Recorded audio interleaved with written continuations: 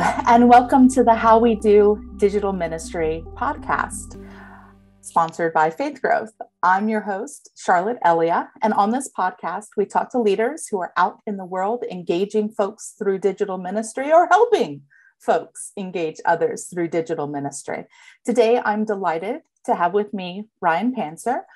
Ryan is the author of Grace and Gigabytes Being Church in a Tech Shaped Culture and his forthcoming book is titled The Holy and the Hybrid Navigating the Church's Digital Reformation. Ryan, you've been on this podcast before. Welcome back.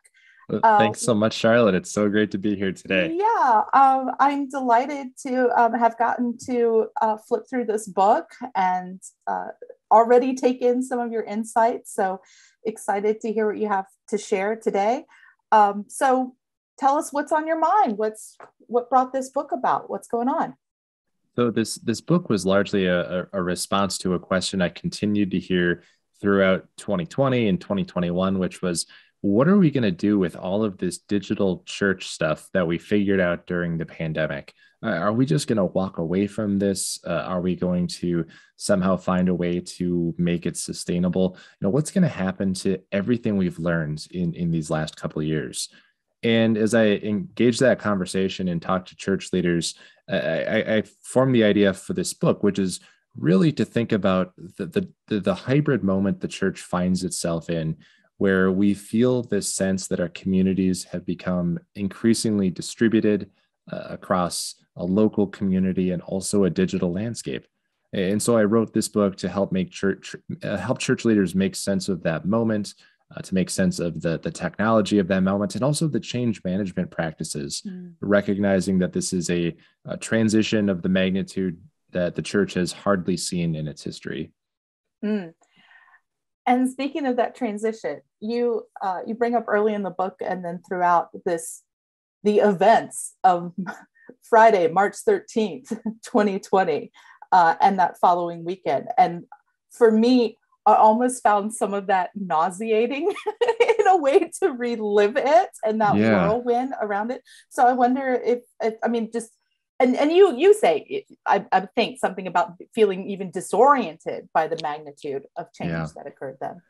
Yeah, and so I, I, I found myself on Friday, March thirteenth, twenty twenty, uh, actually driving to a, a, to a funeral service, to a memorial service, and uh, it, it, was it was for my grandmother actually, and uh, just a just a wonderful, wonderful presence in my life, uh, so important in bringing me up in, in the church, and uh, we gathered in this kind of stately Episcopal church in Waupaca, Wisconsin, a small town in central Wisconsin.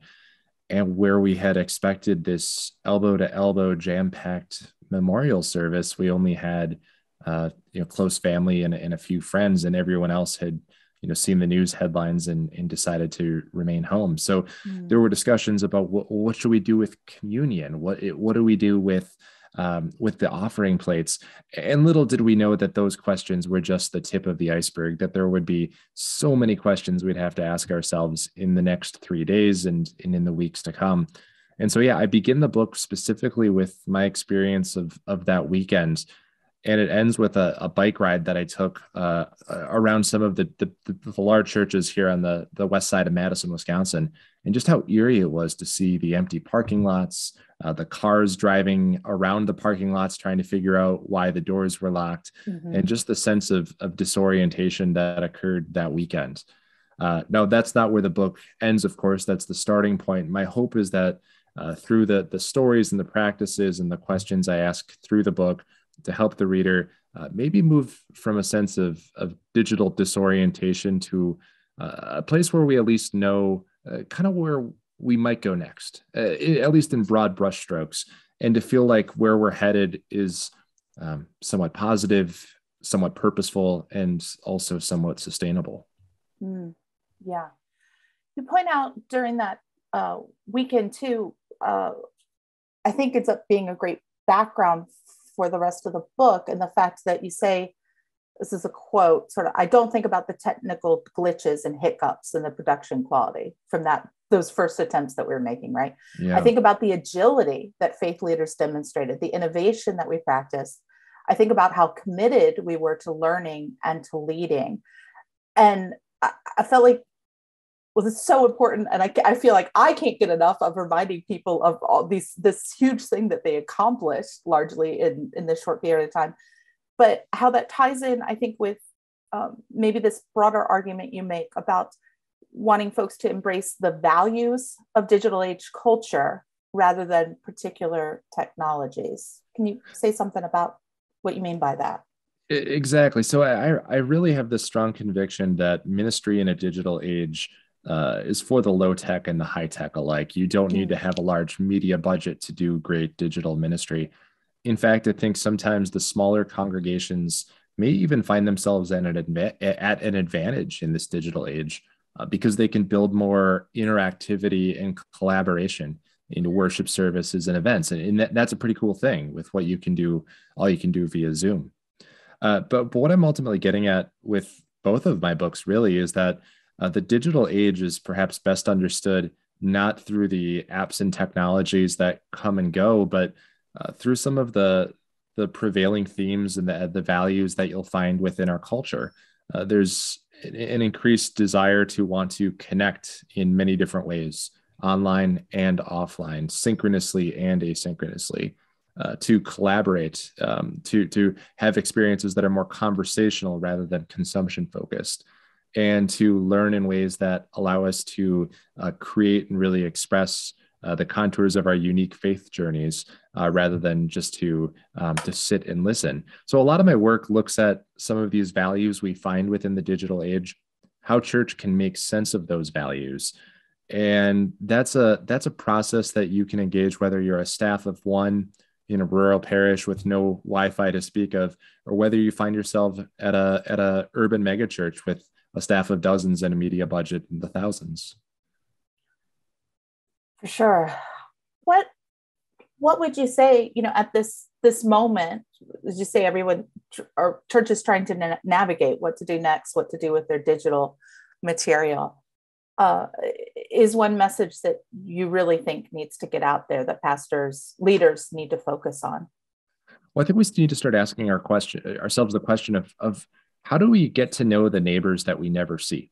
Mm. And what I mean by that is there have been some statistics about who's really watching online worship or participating in online worship.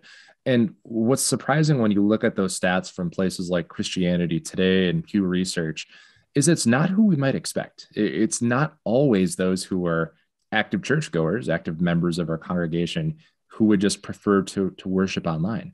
Uh, in fact, the early data from Pew tells us that only about one in 10 active churchgoers planned to remain online once it was safe to return to the mm. building. Mm-hmm. Now, there's all this data about uh, what I refer to as digital church hopping, where people are increasingly visiting many different congregations, streaming different service, sermons, streaming different parts of the service, uh, even uh, worshiping across different localities. Uh, and so we, th- we have to think about how we might get to know the neighbor uh, that we might not ever see take a step inside our doorway. And I think that that's a very different question than the one uh, a few church leaders are asking right now, which is just how do we get people to come back to to the building? Mm-hmm. So there's some there's some guideposts in the book that uh, speak to that question. But one practice that I would recommend is simply mapping out what are all of the different pathways to involvement in your ministry that exist in this new digital normal. We know uh, from from the data that most church traffic comes from search engines and not from uh, not from social media. Uh, how does your church website uh, show up on search pages? Uh, we know that uh, the content we place on on blogs on our website and also on social media is really important to helping people to make a decision about whether to whether to join us for worship uh, what does that invitation look like? And, and, and how does it appear to somebody who's who's church hopping and may not even be you know uh, proximate to us in, in terms of our neighborhood? So think about mapping out all of these different touch points you have in your pathway to involvement within your ministry and then maybe select one of those to focus on and really think about improving and optimizing as we continue to navigate this this new hybrid landscape of church what what does that what would that look like Well, what might that look like? Well, so one, one thing that I've been thinking about is how uh, when you uh, attend worship online, uh, oftentimes churches will say, uh, if you're new, fill out a contact card or mm-hmm. submit this form to to contact the pastor. And sometimes maybe they'll throw up uh, throw throw out a QR code on the screen and say, scan this QR code or or fill out this form at this link shortener link. All of those are really good tactics. But I think what maybe might be missing uh, from that is some kind of a, of a reason to uh, fill out the form, a reason to get involved. Are you going to send them a new member information kit? Do you have a visitor gift that, that you'll send? Uh, are you going to um, uh, invite them to share their prayer requests with you so they can be shared with the broader community in the newsletter? In some ways, this is about thinking less about how we can get people to respond to uh, to forms and to information capture uh, efforts on the web, and more about explaining, you know, here's what you can get out of a relationship with this ministry, and here's how we'll pray for you and support you as you take your next step in discernment about whether this might be a, a congregation for you to call home. Thank you. That's really that's really helpful. I appreciate that. You uh, also note in the book, um, sort of, uh, however, our hybrid feature unfolds, we're called to preserve this a front row experience for those gathered online, and it's. I know this is important enough because it's it's the the cover art of the book really has this wonderful illustration of this? What what is a front row experience for those? Well, maybe online? to maybe to define the front row experience, you have to start by defining the back row experience. Great. And so before the pandemic started, some churches were doing a little bit on Facebook Live, and uh, maybe they had a, a camera at the back of the balcony. Uh, perhaps a youth volunteer was controlling it, and so you, you saw the, the the sanctuary, but most of what you saw was the back of a lot of heads as you were worshiping online. What we think about with a front row experience is the exact opposite of that, where rather than feeling like you're on the outside looking in, you feel like you're sitting front and center in in in in the sanctuary. Now, I'm a Lutheran, and the thought of sitting in the front row um, is frightening to people like uh, like me who have been raised to sit in the back row, uh, especially when it comes to bringing our little kids to church. But let's think about like what it, what would it take to make it feel like you were sitting in the middle of, of that sanctuary? Uh, well, you'd probably have a way to greet those around you. Uh, you'd probably have a way to um, to somehow pass the peace during that aspect of the liturgy. You'd feel like you were in some way involved during um, some of the aspects of, of the congregational of the worship that maybe don't translate that well online. I'm thinking mm-hmm. about uh, communion here, for example. Mm-hmm. So it's about thinking about how we can not just create a, a passive viewership experience but really create some collaborative opportunities within the liturgy uh, so that those online can, can truly be uh, heard and known can you can you give me an example of a collaborative opportunity something on your mind to share? well let, let, let me give you one uh, really low tech example which is sure. prayer requests. And, mm, and, a mm, lot of people uh-huh. think about uh, you know how do i take in prayer requests during the worship service? But you can do this through, throughout the week. Uh, set up a, a, text message number where uh, if somebody has a prayer request they want read aloud uh, they can text it into the pastor. So when it comes to the prayers of the people those requests are, are, are, are lifted up if you wanted to get really high tech with it, uh, you can even use the same types of software that conferences use to project uh, uh, tweets and other social media posts throughout the week. So if somebody wants to tweet or Snapchat or Facebook post in a prayer request, uh, that can be shown as part of the, the, the worship feed. There's all kinds of low tech and high tech ideas, but uh, when it comes to those opportunities to collaborate and and get involved, I would start by thinking about prayer requests. I would start by thinking about um, how you can uh, name opportunities for digital involvement through through the announcements and perhaps most importantly i would look at what words of greeting and welcome you're using mm. uh, so that when it comes to speaking to those gathered online they, they really feel like they're welcomed and an important part of the, the worshiping community mm. excellent thank you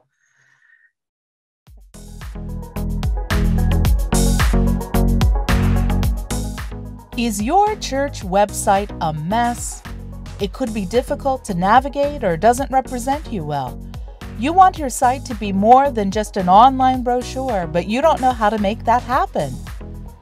Imagine Having a beautiful, easy to use website for your church that helps people find the information they need about your church and its ministries quickly and easily.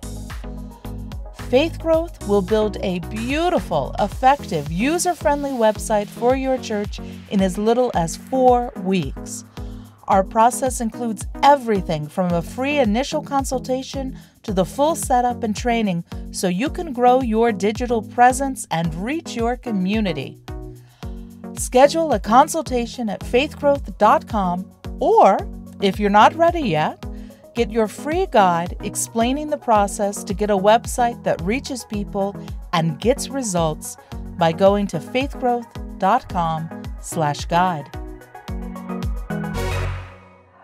What are there major misconceptions you see out there things that pastors other leaders are talking about that they think are going to happen that you and your research just it's not doesn't look doesn't look the same to you well i i, I don't know if it's a misconception but i still think there's a perception out there that the right thing to do is to bring those people uh, who once were with us in person and bring them back to the worshiping community as it existed in March 2020. There's there's a lot of comparisons that look at attendance now versus attendance on March 8th, 2020. And what the what the sociological data tells us is that no matter what our individual congregations may attempt to do, that's going to be a very difficult challenge to confront. Uh, Christianity today tells us that during 2020 and 2021, the percentage of active churchgoers in the United States dropped from 34% to 28%.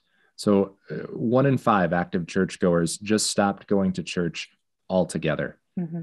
And in some ways, it doesn't matter how many phone calls we make or, or how many emails we send, a lot of those members just aren't going to come back because of the new routines they've established, the new habits that they've fallen into on Sunday mornings, and just the fact that they don't see uh, where church fits within uh, a very different lifestyle than, than they were living two years ago.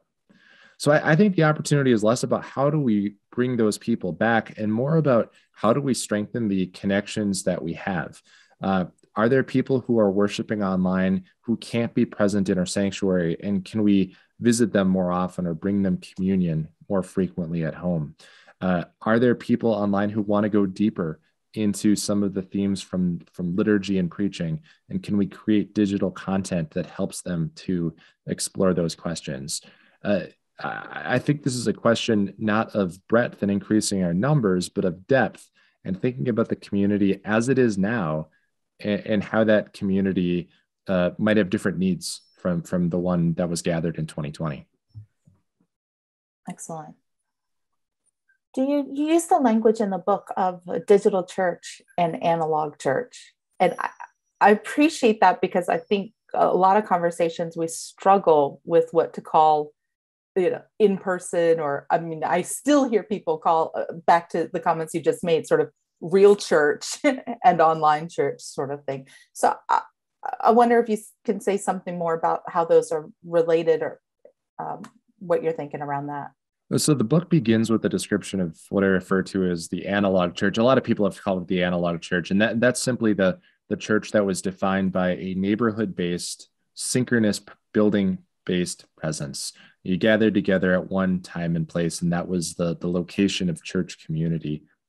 The digital or the the, the hybrid church, what we're becoming, is a hybrid of online and offline, but it's also a hybrid of asynchronous and synchronous. It's a combination of people who gather at the same time or at different times.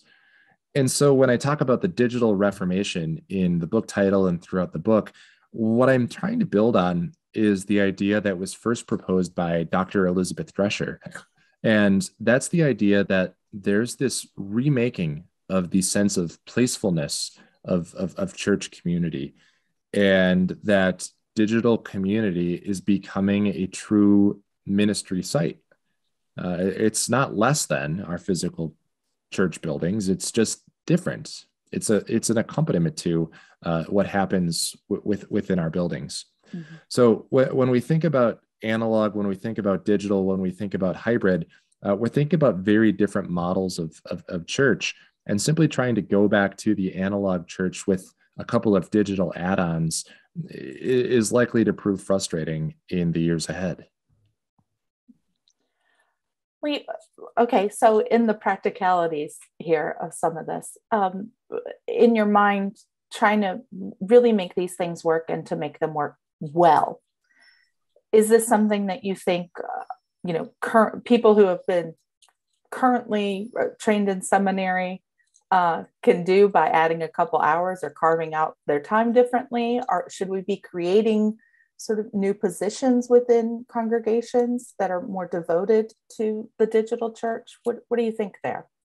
So, I, first of all, I, I would think uh, very carefully about what, how hybrid doesn't mean everything is online and offline always at the same time. Mm-hmm. It's okay for aspects of your ministry to be all offline or even all online. Uh, last night, I was uh, I was attending worship in the park with my congregation. I was actually uh, preaching it last night at this church in in Wisconsin, and uh, you know we didn't stream that online. Be, right. because it's it takes place in a park. It's this very communal outdoor setting. It doesn't translate to to YouTube, and you know we we could have brought the cameras and the microphones off. We we, we have the equipment for it, but it just didn't make much sense. Uh, similarly, we've seen book discussions that we've tried to move uh, to face to face venues, and our, our attendance dwindles and uh, they, they lose momentum. So we found that certain book discussions have worked better, uh, keeping them on Zoom, even though we have the ability to gather in person. So before you think about, do I add more hours? Do I add more staff? Do I, you know, do this and that? I would think about what are the moments that make most sense online? What are the moments that make most sense entirely offline? And where do we want to blend those together. Uh, for many churches, that involves taking a look at Sunday morning and thinking about if there's one church service uh, that makes more sense for the online worshiper. Uh, perhaps it's the more um, more contemporary or even the more traditional service. Uh, may, maybe some services aren't going to be streamed uh, online. And then once you've had that figured out, once you've had those conversations, uh, it, it's a matter of thinking about well, are we going to build staffing structures and resources, or are we going to invest in technologies that uh, make this work easier, or even allow us to introduce some some automation? So there are many ways to I- explore these questions. We don't need to jump immediately into I need to invest more resources and I need to hire more staff. In many ways, those are the questions that come last after we've gone through this intentional work of, of conversation and planning sure no that's i so appreciate you laying that out that way I, i'm encountering more and more people who want to hire folks for work that they don't know what the work is yet so that's really helpful. That assessment yeah. in, in, the in the design world we know we, we refer to that as solutioning. You know you have an idea for what you want to roll out but you don't really know what problem it solves so you're effectively designing for nothing. And we know that designs for for for nothing uh, don't go anywhere in, in the long run. So uh, this is a good moment uh, for today's church leader to um, perhaps read some of the, the good work of of IDEO. They're a design uh, research institute on the West Coast. They have a lot of resources just about you know how do you design problems to difficult uh, d- I'm sorry, how do you design solutions to difficult problems that don't have easy answers? Mm-hmm. Uh, it, there's a lot of thought from the the world of design that uh, when when translated with some some um, theological foundations actually holds up quite well. And this is a really interesting time to study some of those ideas because they can they can do a lot of good in the world of church right now. Excellent. I so appreciate you bringing all of that all of your background uh, and sharing it with us in the in the church world here. Uh, so we're almost out of time. So I'm wondering, we're going to leave the floor open for you for some final thoughts, things you really want to get out there. Uh, the the prevailing fears or anxieties of, of today's church leaders seems to be, seem to be in part about uh, uh, attendance and in part about uh, feasibility or mm. Uh, making all of this work sustainable. And those are two extremely difficult questions that defy easy answers and call for you know really some creative uh, design thinking and um, and ideation So, this is a really good opportunity if you haven't yet done so to make sure you have a mentor or a coach who can accompany you through these times. Uh, we've, we've seen the studies on ministry and church leader burnout being at an all time high. So, you know, in addition to learning and, and seeking to get more information on all of these topics, just be sure to care for yourself, to give yourself the grace to step back and unplug, to take frequent digital Sabbaths, and to remember that this is going to be a, a years long process of exploration and growth. We don't need to do all things at all times right now. That's a wonderful blessing for us to end on. Thank you, Ryan. Thank you again for talking with us and um, for sharing this book. This book is uh, to come out in September. Is that right? That's right. So um, the, the, the Holy and the Hybrid, Navigating the Church's Digital Reformation uh, comes out September 27th from Fortress Press. Uh, and is in pre-orders now. Just go ahead and do it. Just go ahead and do it. Then you get a surprise at your and door, let, right? And let me know what you think. my website is ryanpanzer.com. Uh, come send me a note. Uh, I'd love to hear what your what your thoughts are. Uh, for good, for bad, uh, let me know. I, I, look forward to being in conversation with you. Oh, we so appreciate that. Uh, thanks again, Ryan. Thank you, everybody, for listening. Uh, we want to invite everyone uh, listening to join our private Facebook group, How We Do Digital Ministry. That link will be in the show notes, um, as well as the link to Ryan's page where you can find him. Um, but our private Facebook group is a great place to share uh, and join with colleagues to discuss all things digital ministry in the moments when you're not listening to this podcast or re- right, reading one of Ryan's books. Uh, but until next week, peace and blessings to you all.